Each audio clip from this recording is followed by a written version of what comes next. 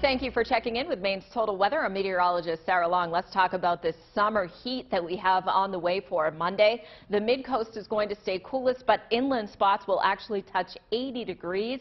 We also have the full moon on the way for tonight. Under a clear sky, that moon is going to be nice and bright. So let's talk hour by hour during the day. Uh, during the overnight hours and into Monday, we will actually start off with plenty of sun. The exception may be some of those low clouds hanging in the mid-coast, but otherwise we're looking at a bright day with those southwest winds just ushering in that warm air 70s, especially from Portland south along the coast, 80s inland, but it's going to be those southwest facing peninsulas and islands that are going to stay coolest with an onshore wind. Then overnight Monday night into Tuesday, we get a very weak front that's going to push through with just a few overnight showers.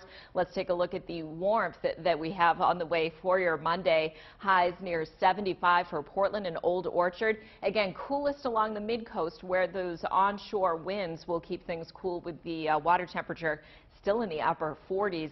Uh, 65 for Boothbay Harbor for a high tomorrow and Wiscasset 69 degrees. You head into the mountains and this is where you really feel the blowtorch effect. 82 in Fryeburg, 83 in Farmington and 80 degrees in Bethel. Hard to believe we were just skiing and riding at Sunday River on Saturday, and now we're going to be at 80 degrees. We're back near 70 on Tuesday after that weak cold front moves through, and Wednesday, Thursday, we've got plenty of sun on the way. Highs topping out in the 60s. Have a great week.